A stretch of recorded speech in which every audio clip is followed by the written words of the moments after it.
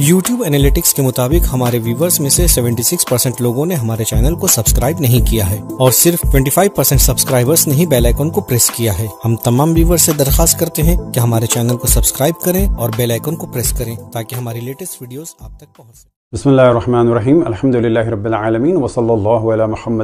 ताहिरीन। साबका नशस्त में हमने बनु अब्बास और उसमें खसूस याहिया इबन अकसम, मामून, अमीन, वासिक और इसी तरह से मोतसम का ज़िक्र किया और उनकी हमजन्स बाजियों का ज़िक्र किया। इस नशस्त में भी हम इन्हीं सब लोगों का दोबारा ज़िक्र करेंगे मज़ीद तफसील के साथ। अब हम यहाँ पर तवज्जो दिलाएँ कि तमाम अदियान और तमाम मज़ाहिब का एहतराम है। तमाम मजाहब इस्लामी मुसलमान हैं। खसूस बरदरान अहल सुन्नत हमारी जान है। उनके कदम हमारे सर आँखों पर लेकिन ये ख़ुद हमारी ज़िम्मेदारी है कि उनको बताएँ कि बाद रसूल अलैहि वसल्लम जो जुल्म हुआ अहल बैत सलाम पर खसूस बनु मैया और बनु अब्बास के ज़माने में, और किस तरह से उनको मिसगाइड किया गया और उलुल अम्र और वली और ज़िल्ल इलाही बनाकर पेश किया गया बनु उमैया और बनु अब्बास के अफराद को तो ये चीज़ भी क्लियर हो जाए कि चाहे शराब हो, चाहे जना हो और चाहे हती लवात हो, ये उन लोगों के नज़दीक बहुत ही आसान सी चीज़ थी। कि जिससे पता चल सकता है कि ये किस कस्म के लोग थे और किस तरह से ये रसूल और आल रसूल के मुकाबले में खड़े हुए थे। आपके सामने किताब है समारुलकलूब फिल मुजाफ वल मंसूब और सफ़ा नंबर है इसका 133 यहाँ पर भी मामून के हवाले से ये मौजू है और कुछ अशार हैं कि जो आपके सामने पेश किए जा रहे हैं। वक़ाज़ी क़ज़ातमसलमिन यलूतो और मुसलमानों का काजी क़ज़ात लवात करता है और हाशिए में मौके कहते हैं इज़ाकाना काजी अलमसलमिन यलूतो यानी इस मिसरे की जगह ये वाला मिसरा मुनासिब था कि इज़ाकाना काजी अलमसलमिन यलूतो और फिर उसके बाद जो अगला शेर है वहाँ पर भी यही है काजिम यरवल हद फिजना वला यरा अला मैं यलू तो मिन बासिन। कि ये ऐसा काजी है कि जो जिना में तो हद को जारी करना सही समझता है, लेकिन लवात के बारे में वो कोई हद जारी नहीं करता और किसी कस्म का फिक्रमंद नहीं है। अमीर होना यरकशी व हाकिम होना यलूत। तो काजी के बारे में भी ज़िक्र हो गया कि काजी भी लवात करता है, और काजी लवात की कोई सज़ा भी अपनी और काजी लवात की किसी सज़ा का भी कायल नहीं है। और फिर उसके बाद आया अमीर होना यरतशी कि हमारे जो उमरा हैं, वो रिश्वत लेते हैं। वह हाकिम होना यलू तो और जो हाकिम हैं, वो लवात करते हैं। और यहाँ पर वाज हो गया कि बनु अब्बास के हाकिम उमूमन इस लवात के काम में मसरूफ़ थे। और अब आपके सामने पेज नंबर 134 है और यहाँ पर भी जो हेडिंग है, वो यही है, लिफरत लवात ही नौसबा उबना। कि याहिया अबन अकसम को यह भी नस्बत दी गई कि वो लबात करवाता भी है। वयुह का अन्ना दखल अला अब्बास इबन मामून वह यल अब बिल शतरंज। और हिकायत हुई है कि अब्बास बिन मामून के पास एक दफ़ा ये दाखिल हुआ याहिया इबन अकसम कि जिस वक्त ये अब्बास इबन मामून शतरंज खेल रहा था। और ज़ाहिर इन्हीं बदकिरदारियों की वजह से उसने शेर पढ़ा, या लई याहिया लम यलिद हु अक्सम हो कि आकाश अक्सम ने याहिया को पैदा न किया होता। और उसके बाद वही मौजू है कि इस्माइल बिन हम्माद बिन अभी हनीफा ने कहा कि तुम अगर बुरा कहते हो तो क्यों बुरा कहते हो, जबकि मेरे दादा का तुम पर एक एहसान है वह एहसान यह है दरहद अनिल लूती। ये मौजू पहले डिस्कस कर चुके हैं कि मेरे दादा ने हद ख़त्म कर दी किस पर से? लूती पर से। अब आपके सामने हैं इलामनास बेमा वक़ामिका मा बनी अब्बास सफ़ा नंबर है 225 और यहाँ पर उन्हीं तकरीबन अशार से रिलेटेड एक वाक़ है और वाक़ यह है कि योह का अन्नहु काना इंदल मामून यौमन के हिकायत हुई है कि एक दिन याहिया इबन अकसम मामून के पास था फ़काल लहू मामून वह युर्रज़ो लहू बिल्लवत याहिया मंजल लजी यकूलो कि मामून के पास याहिया अपने अकसम था और उसने इस पर किनायतन एक जुमला मारा कि तुम यानी लवात करने वाले हो और फिर सवाल किया कि ए याहिया ये शेर किसका है इससे पता चला कि उस ज़माने में ये शेर इतना मशहूर हो चुका था, जिस तरह से आज बास चीज़ें मशहूर हो जाती हैं इस किस्म के अफराद के बारे में। सोशल मीडिया के ज़रिए से, उस ज़माने में अशार के ज़रिए से अरब दुनिया में बड़ी जल्दी लोग याद कर लेते थे। वो शेर क्या था?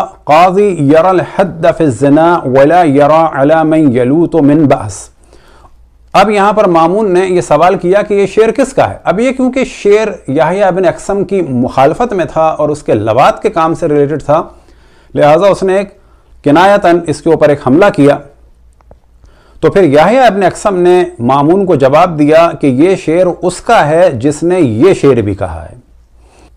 वमा अरल जौर यन कवी व वालिन मिन कुम बनी अब्बास। अब यहाँ इस मिसरे में यह था कि ए बनी अब्बास, जब तक तुम में से हाकिम होंगे, उस वक्त तक इस उम्मत पर से जुल्म ख़त्म नहीं हो सकता। अब जो अगला वाक़ है, युकाल मामून शरब यमन माजी याहिया अबन अक्सम फ़माल साकी अलकाजी हती वक़ सुकरान कि मामून एक दफ़ा याहिया अबन अक्सम के साथ शराब पी रहा था और साकी ने उसको ज़्यादा शराब पिलाई, यहाँ तक के याहिया इबन अक्सम को नशा हो गया। ये जो आप देखते हैं कि बाज़ दफ़ा बाज़ मुफ्तियों के शराब की वीडियोज़ भी आई हैं, ये लोग दर हकीकत इस कस्म की चीज़ों को देखने के बाद ये सोचते हैं कि जब वो इतने बड़े इमाम अहल सुन्नत था और मुफ्ती था, जबकि कहा जा सकता है कि वाकन वो इमाम अहल सुन्नत नहीं है, और आजकल के जो अहल सुन्नत हैं वो वाकन इस कस्म के अफराद को कभी भी अहमियत नहीं देंगे। वो जब अहल सुन्नत बिल्कुल एक नादानी की ज़िंदगी गुजार रहे थे और मुफ्तियों के बारे में नहीं जानते थे तो उस वक्त बेचारे सादे लोग थे, वो मान लेते थे कि जी ये बनु अब्बास और बनु उमैया, ये ओल अमर हैं और इनके जो मुफ्ती हैं, वो सही माना में मुफ्ती हैं और आलम दीन हैं। तो इसको नशा आ गया। तो मामून ने हुक्म दिया कि इस पर इतने गुलाब और इतने रेहान डालो यहाँ तक कि ये इसमें दफन हो जाए। तो यहाँ से पता चला कि ये लोग शराब भी पीते थे और इस हद तक पीते थे कि लोगों के सामने पीते थे और नशे में चूर हो जाते थे। अब आपके सामने किताब है अतयूरियात जिल नंबर एक है और यह छपी हुई भी रियाज की है और सफ़ा नंबर है वन टू एट थ्री। और यहाँ पर भी याहिया इबन अक्सम और बनु अब्बास के हवाले से मुख्तलिफ़ अशार हैं कि जिनमें लवात और मुख्तलिफ़ गुनाहों का ज़िक्र है। व अनशदा अबू सखरा अर्रयाशी फ़ी याहिया इबन अक्सम, कि ये कुछ अशार हैं कि जो इंशा किए हैं अबू सखरा अर्रयाशी ने याहिया इबन अक्सम के बारे में। अब वो अशार क्या हैं? तो सिर्फ़ हम उन अशार को आपके सामने पेश कर रहे हैं कि जिनका तर्जुमा आम इंसानों के लिए आसान हो और वो, मिसाल के तौर पर अगले शेर में यहाँ पर यलूतो है और उसके बाद वाले शेर में भी जो है यलूतो है कि जो मुजारे का सीगा है लवात से और उमूमन लोग इसको समझ जाएँगे। तर्जा बेयाहिया यकून साइसहा वलईसा याहिया लहा बेसवास के बनु अब्बास राज़ी हैं याहिया अपने अक्सम के बारे में कि वो उनका निज़ाम चलाने वाला है, वो उनका सियासतदान है, जबकि वो उनके निज़ाम को नहीं चला रहा। काजिन यरल हदफ़ना वला यरा अला मन बास वही शेर कि ये ऐसा काजी है कि जो जना की हद का कायल है, लेकिन लिवात की हद का कायल नहीं है, और ये नज़रिया याहिया इबन अक्सम ने शेख अबू हनीफ़ा ही से लिया था। और तीसरी लाइन पर है, यहकुमो लिलअमरद यानी ये काजी ऐसे नौजवान लड़कों के बारे में जिनकी दाढ़ी मूछें नहीं निकली, उनके हक में फैसले देता है। जो पांचवी लाइन में है, वह हाकिम यलू तो और हमारे हाकिम जो हैं, वो लवात करते हैं। तारीख मदीना तो दमिश्क जिल नंबर 64 और सफ़ा नंबर है 81 और 82 और यहाँ पर भी यही वाला मौजू है कि मामून से एक दफ़ा मिलने आया याहिया इबन अक्सम तो उसने किनायतन इसके ऊपर एक हमला किया। मंजल लजी यकूलो वह युर्रबही कौन सा शेर? काजिन यरल हद फिजना वला यरा अलमन यलूत मिन बास। तो इसने कहा, वमा यारफ अमीरमिन मन कालहू काला काला यकूल अल्फाजर अहमद बिन अबी नईम अल्लदी यकूल हाकिमना यरतशी व काजीना यलू तो कि क्या आपको नहीं मालूम कि यह शेर किसने कहा यह शेर उसी ने कहा है कि जिसका नाम है जो फाजिर है अहमद बिन अबी नईम अल्लदी यकूल हाकिमना यरतशी व काजीना यलू तो कि जिसने ये शेर भी कहा है कि हमारे हाकिम रिश्वत लेते हैं और हमारे काजी जना करते हैं लेकिन जो असल शेर था, वो वही था कि जो हमने पहले बयान किया, वह हाकिमोना यलू तो कि यहाँ पर क्योंकि मामून ने हमला किया, याहिया बिन अक्सम पर और किनायतन एक चीज़ कही कि ये शेर किसके लिए है कि हमारा काजी जो है वो लवात को सही समझता है? तो कहा यह शेर उसी का है कि जिसने कहा है कि हमारे हाकिम भी लवात करते हैं। अब आपके सामने तारीख़ मदीनत दमिश्क और जिल्द नंबर है 64 और सफ़ा नंबर है 85 और यहाँ पर वाक़ है कि एक लड़का था जो बहुत ही खूबसूरत था, याहिया अपने अक्सम के लिए किताबत करता था। तो वाक़ क्या है? काना जैदान, उसका नाम था जैदान, अलकातबो, जो किताबत करता था। यकतुब बैन यदई याहिया इबन अक्सम, वो याहिया इबन अक्सम के सामने बैठा हुआ किताबत कर रहा था। वह काना गुलामन जमीलन मुंतहल जमाल, और ये बहुत ही खूबसूरत लड़का था। फ़क़रसलक़ाज़ियो खद्दहू फ़हजल वस्तहिया वतरकलम मिन यदैहि फ़क़ाल लहू याहिया उक्तुब मा उमली अलैका सुम्मा क़ाला तो इसने यानी याहिया अपने अक्सम ने उसके गाल को नोचा और जब नोचा तो उसने शर्म महसूस की और उसके हाथ से कलम गिर गया जब कलम गिरा तो उसने कहा कि तुम लिखो जो मैं कह रहा हूँ उसके बाद जो है उसने कुछ अशार कहे जिनमें से जो आखिरी मिसरा है वो है, तत्रक़ु कावियलमसलमिन मुआज़बा पहले उसके हसन जमाल की बात की और शहवत वाली बातें की और आखिर में कहा कि तुमने मुसलमानों के काजी को अजाब में मुबतला कर दिया है। अब आपके सामने है पेज नंबर 86 और यहाँ पर जो मौजू है वो ये है, काना याहिया इबन अकसम इंदल वासिक, कि याहिया इबन अकसम एक दिन वासिक के साथ बैठा हुआ था। व गुलाम अमरद हसनवज मिन गलमान खलीफ़ा वाक़ बैन यदई है कि एक उसके गुलमान में से एक इंतहाई खूबसूरत चेहरे वाला एक नौजवान कि जिसके चेहरे पर दाढ़ी नहीं निकली थी वो खड़ा हुआ था खलीफा खलीफा अब्बासी मामून के सामने व अहदन नज़रा इलई है व तबस्समा याहिया अपने अक्सम ने उसको देखा और मुस्कुराया। कौल लहुल वासिक। तो वासिक ने उससे कहा, किससे कहा? याहिया अपने अक्सम से। या याहिया, बेहयाती लतबतलन हूँ ए याहिया, मुझे मेरी ज़िंदगी की कसम, जाओ और इस लड़के के साथ तजर्बा करके देख लो। कौला इन्नी व हयात का वल्लाही मुनज़ा कि मैं आपकी जान की कसम खाता हूँ और खुदा की कसम खाता हूँ कि मैं ये काम नहीं कर सकता और इस काम से बचूँगा। फिर एक वाक़ बयान हुआ, दखल अला याहिया अबन अकसम अबना मुसअदा वकान अला नहायत जमाल, फ़लम्मा रआहुमा यमशियान फ़िस्सहन अनशा यकूल। कि अली बिन मुस्लिम में कातिब कहता है कि याहिया अपने अक्सम के पास मुसदा के दो बेटे आए कि जो बहुत ही खूबसूरत थे। जब वो सहन में चल रहे थे तो उसने इनके लिए ये अशार कहे और ये भी अशार शहवत वाले ही हैं। तारीख़ मदीनत दमिश्क की जिल नंबर 64 और पेज नंबर 71 में ये मौजू है कि एक दफ़ा मामून ने मुता को हलाल करार दिया कि जिस पर याहिया अबन अकसम नाराज़ हुआ और वहाँ पर एक शख्स कह रहा था, जो चीज़ हलाल थी रसूल अल्लाह सल्लल्लाहु अलैहि वसल्लम के दौर में और खलीफ अव्वल के दौर में, कौन होता है कि जो उसे हराम करे? खैर, इतने में याहिया अबन अकसम आया और जब वो आया तो उसका मूड ख़राब था। फ़काल मामून ले याहिया मा ली अरा का कि ए मामून मामून ने कहा याहिया से कि क्यों तुम्हारा चेहरे का रंग बदला हुआ है? तो फिर उसने जवाब दिया कि गम की वजह से, लिमा हदसा इस्लाम, के जो इस्लाम में वाक़ हुआ है। तो मामून ने कहा, वमा हदसा क्या इस्लाम में ऐसा हो गया है? कौल अनदा तहलील जना। क्योंकि तुमने जना को हलाल करार दे दिया है। काला, यानी मामून ने ताजुब से कहा, मैंने यानी जना को हलाल करार दिया। काला, नाम। अलमोता जना, यानी मोता जो है वो जना है। अब आप तस्वुर करें कि मोता इसके नज़दीक जना है, इस पर इसके चेहरे का रंग बदल गया, लेकिन मामून भी लबात करे, लड़कों के लिए अशार कहे जाएँ, खुद भी ये करे तो उसमें इसके लिए कोई प्रॉब्लम नहीं था।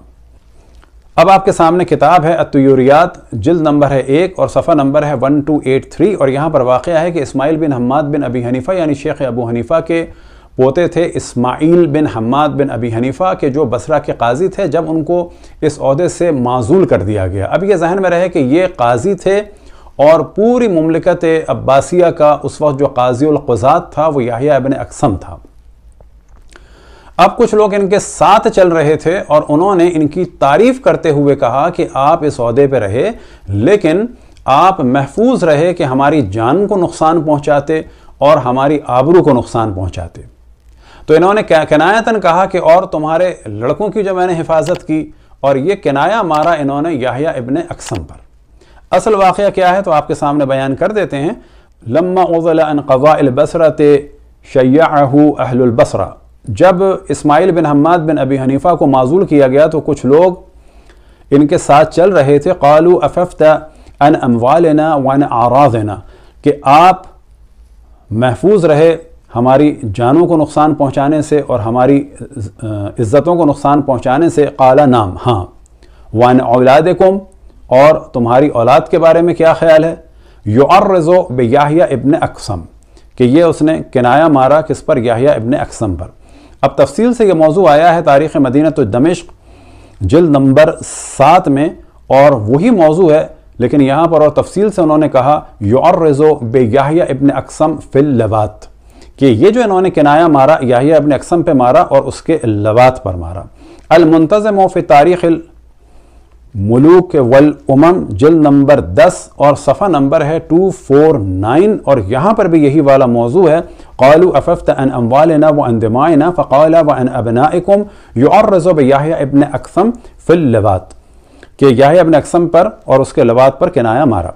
अब आपके सामने है तारीख़ुल खुलफ़ा और सफ़ा नंबर है 474 और ये जो पूरा चैप्टर है, ये है अमीन के बारे में। और यहाँ पर जो शेर हमने आपके सामने पेश किया है, जब आप जाएँगे उर्दू तर्जुमों में, चाहे वो तारीख़ तबरी का हो और चाहे वो ख़ुद इस किताब का हो तो इस शेर को भी हटा दिया है और लोगों ने कोशिश की है, तर्जुमा करने वालों ने, कि इर्द गिर्द के एक आध शेर को बयान कर दिया जाए और मुकम्मल किताब का तर्जुमा ना किया जाए। अब मिसाल के तौर पर जो असल शेर यहाँ पर है, लिवातुल खलीफत अजूबतुन कि खलीफा का लवात करना, यानी अमीन का लिवात करना यह खुद एक ताज्जुब की बात है। लेकिन अब आ जाएँ इन्हीं अशार को जब आप देखेंगे, जबकि अरबी में पूरे ये मौजूद है तारीख़ तिबरी में, लेकिन यहाँ पर इन्होंने पहला शेर बयान किया और वो वाला शेर बयान नहीं किया। पहला शेर कौन सा बयान किया? कि वज़ीर की नमक हरामी, मुशीर की नादानी और इमाम वक्त के फ़िस्क व फजूर में इनहमाक ने खिलाफत को तबाह कर दिया। तो यहाँ जो पहला मिसरा है, वहाँ पर दिक्कत करें, फ़िस्कुल फ़िस्कुल इमाम, यानी इमाम फासिक है। किसको कहा जा रहा है इमाम? यानी अमीन को। किनको कहा जा रहा है इमाम? यानी बनु उमैया और बनु अब्बास के खलफा को। और जिनको रसूल अल्लाह सल्लल्लाहु अलैहि वसल्लम ने इमाम कहा अल हसन वल हुसैन इमामान। उनके लिए आमतौर पर अगर आप दिक्कत करें तो क्या कहा जाता है? हज़रत हसन, हज़रत हुसैन, उनके लिए मुँह से इमाम नहीं निकलता, जबकि याहिया इब्न अकसम के लिए भी इमाम निकल आता है, और इन जैसे फासिक, फाजर बादशाहों के लिए भी लफ्ज़ इमाम मुँह से निकल आता है। अब आपके सामने है तारीख़ुल खुलफा और ये तर्जुमा है हज़रत शम्स बरेलवी का और सफ़ा नंबर है 572 और यहाँ पर आप देखेंगे कि इन्होंने ऊपर के तमाम अशार को ही हटा दिया और इन्होंने दर हकीकत छठे अशार का तर्जुमा किया कि जिसमें अमीन ने अपने बच्चे की जो बैत ली थी उसका ज़िक्र किया और बाकी जो बदकिरदारियों वाले थे और जो इमाम के फासिक होने वाला शेर था उसको भी हटा दिया। अब आपके सामने है पेज 574 इस तबाही में भी अमीन की शराब और गाना नहीं छूटा, यानी ये लोग फिस्क फजूर और शराब और जना और लवात में तो डूबे ही रहते थे। बयान किया कि इस इब्तला में भी, इस इब्तला में वो अमीन के साथ शहर मंसूरा में मुकीम मुकीम था। एक रात कौन सी इब्तला? कि जब इसका भाई इसको मारना चाह रहा था और जंग का ज़माना चल रहा था। ऐसे में तो शराब का दौर चलना चाहिए। अब यहाँ पर चली शराब। तारीख़ुलखलफ़ा जिसका तर्जुमा इकबालुद्दीन अहमद साहब ने किया है, उन्होंने भी इस मौजू को बहुत वाजह से किया कि शराब के बारे में तुम्हारा क्या ख्याल है? मैंने कहा कि आपका जो हुक्म गर्ज है कि चलाब चलने लगी। फिर उसके बाद एक लॉन्डी को तलब किया, जिसका नाम वाफ था और इसने इसके नाम से बदफाली ली, चुनाचे वो नाबका की गज़ल गाने लगी और उसके बाद जो है गाने बजाने की महफिल चली। अब इसी दौरान जो है वो हमला हो गया, फिर इसको ज़ख्मी करके पिछली सफ पिछली तरफ़ से इसका सर कलम कर दिया गया। किसने कर दिया? यानी इस अमीरमिन का, यानी बनु अब्बास के खलीफा अमीन का सर। दूसरे अमीरमिन के जो सगा भाई है, कौन? मामून, उसने इसको मरवा दिया और फिर ये सर ताहिर के पास पेश किया गया, जिसने इसे बाग की दीवार पर रखवा कर ऐलान कर दिया। लोगों, देखो, ये माजूल अमीन का सर है और इसका जिसम किसी पहाड़ की खो में डलवा दिया। सर टंगवा दिया और खलीफतुलमसलिमिन अमीरमिन यानी अमीन के जो खलीफा अब्बासी है, उसे दूसरे अमीरमिन दूसरे खलीफतुलमसलिमिन दूसरे ज़िल्लाही दूसरे ओलमर ने मरवा के सर को टंगवा दिया और जिसम को बग़ैर गसल, कफन और दफन के एक पहाड़ की खो में फिकवा दिया। अब ये जो आप देखते हैं कि आई एस आई एस वाले बाज लाशों को पहाड़ से फेंक रहे थे, ये सारे जो लिंक हैं वो इन चीज़ों से निकलते हैं कि इनके नज़दीक जब किसी काम को करना होता है तो किसी ना किसी सहाबी या किसी ना किसी बादशाह के किसी ना किसी काम से अपने काम को जस्टिफाई कर लेते हैं, चाहे वो शराब हो, चाहे वो जना हो, चाहे वो कत्ल हो, और चाहे वो लवात हो। अब आपके सामने तारीख़ुलखलफ़ा इकबालुद्दीन साहब का तर्जुमा है, और यहाँ पर फिर एक मौजू है कि जो आपके सामने कहते हैं कि हारून बड़ा ही अच्छा अदीब और उम्दा गज़ल गो था हारून। अब यहाँ पर हारून से मुराद हारून रशीद नहीं है मामून का बाप, बल्कि खुद वासिक का जो नाम था, वो हारून था। हारून एक दिन अपने इस मुलाजिम पर गुस्सा हुआ, जो मिस्र से तोहफे में आया था, और हारून इसे चाहता भी था। चुनाचे इस मुलाजिम ने बाहर निकलकर दूसरे मुलाजमीन से कहा, तुम लोग आइंदा कल देखोगे कि हारून मुझसे हम कलाम होने की ख्वाहिश करेगा, लेकिन मैं इससे गुफ्तु नहीं करूँगा, चुनाचे हारून ने यह सुनकर चंद अशार कहे।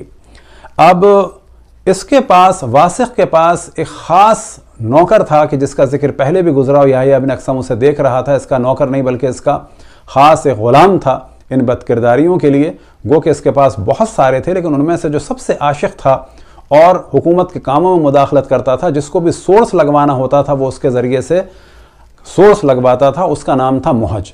ये जब एक दफ़ा नाराज़ हुआ तो ये दूसरे लड़कों से कह रहा है, देखो, मैं इससे बात नहीं करूँगा और फिर देखना क्या होता है। अब यहाँ पर आप लबुलजा बाहर देख लें। चुनाचे इस मुलाजिम ने बाहर निकल कर दूसरे मुलाजमीन से कहा कि, तुम लोग आइंदा कल देखोगे कि हारून मुझसे हम कलाम होने की ख्वाहिश करेगा, लेकिन मैं इससे गुफ्तु नहीं करूँगा। चुनाचे हारून ने ये सुनकर चंद अशार कहे अब ये लड़का ज़ाहिर है कि उसे पता है कि खलीफा मुझसे जिनसी ताल्लुक़ रखता है तो ये एक नखरे दिखा रहा है, बिल्कुल वही नखरे के जो बाज़ बदकिरदार औरतें दिखाती हैं अपने किसी आशिक को। अब इसके लिए बयान करते हैं कि राग रागनियों वगैरह से बखूबी वाकिफ था। इसने तकरीबन सौ रागनियाँ ईजाद की, सारंगी और सितार बजाने में माहिर थे। कौन? ये खलीफतुलमसलिमिन और जो भी इनके लिए अब आप तस्वुर कर लें।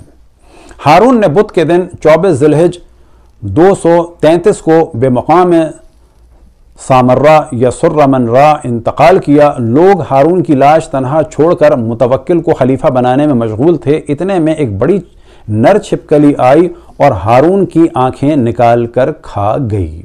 जंगली बड़े चूहे को वो दाखिल हुआ और मौसूफ की आँखें खा गया। तो यहाँ पर असल मौजू यह है कि हम ये बताएँ कि रसूल की आल के साथ क्या जुल्म हुआ और इन फासिकों और फाजरों और जानियों और शराबियों और लिबात करने वालों और इन ालिमों को आल रसूल पर जुल्म करने वालों को अमीरमिन खलीफतमसलमिन ज़िल्ल इलाही और क्या क्या क्या क्या बना दिया गया।